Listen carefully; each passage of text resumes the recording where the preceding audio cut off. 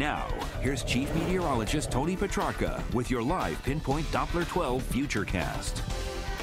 Well, keeping an eye on two significant uh, weather fronts this week that'll bring substantial temperature changes. One is a strong warm front, and then it is really going to boost the temperatures up next couple of days, especially Wednesday. The other is a strong cold front, and towards the end of the week and towards the weekend, the temperatures really start to go down. So kind of that roller coaster ride as far as the temperatures go.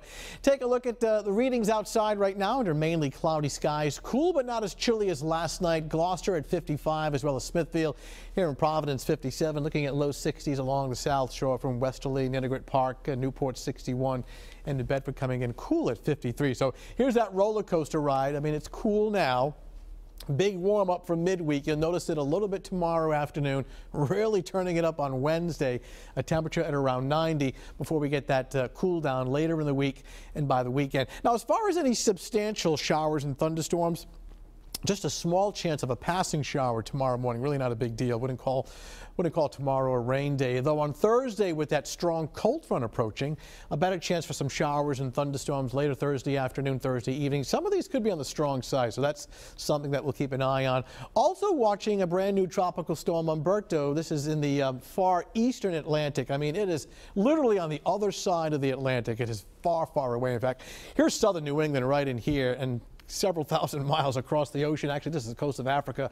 Is Tropical Storm Umberto with top winds of 50 miles per hour. Yeah, we watch this part of the world closely because some famous East Coast hurricanes have had their origins off the coast of Africa, so obviously this is far away.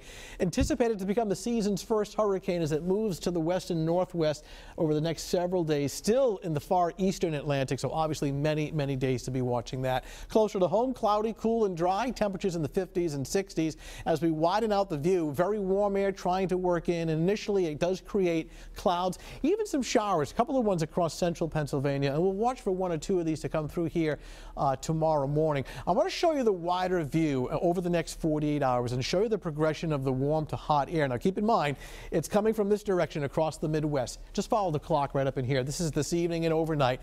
Now tomorrow morning at around uh, 9 o'clock, we're starting off at 68 and we are seeing warmer temperatures for tomorrow afternoon in the upper 70s. Tomorrow night's not nearly as cool. Now here we are Wednesday morning, 8 a.m. It's already 72 and then watch the the intrusion of hot air coming in from the Midwest, New York and Pennsylvania. By Wednesday afternoon, upper 80s to low 90s. It's been a while since we've had 90 degree weather, and it is likely by midweek. Take a look at your futurecast for uh, this evening and overnight, showing the clouds streaming in. Now watch early in the morning, one or two showers around 8 o'clock in the morning coming through zipping on out. And then during the afternoon, the clouds decrease, some brightening, so skies turn partly sunny. Once we get even some partial sun tomorrow afternoon, that'll cause the temperatures to warm up nicely, easily getting up into the upper 70s by around 3, 4 o'clock in the afternoon. So for tonight, cloudy and dry, uh, temperatures in the mid 50s. Now tomorrow morning, starting with clouds, just a quick passing shower. Not every spot will get one. Temperature at 70.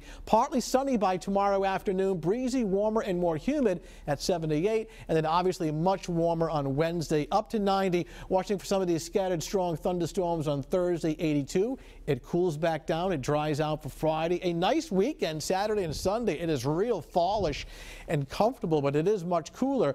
Upper 60s to low 70s Saturday and Sunday, and nighttime temperatures in uh, the 40s. So improving weather tomorrow afternoon in terms of sunshine. Here comes summer on Wednesday, and then we'll watch for some strong thunderstorms on Thursday. It's been a while since we've had some heat, but we'll get it for at least one day. I like it. Yeah. Much more to coverage. Come to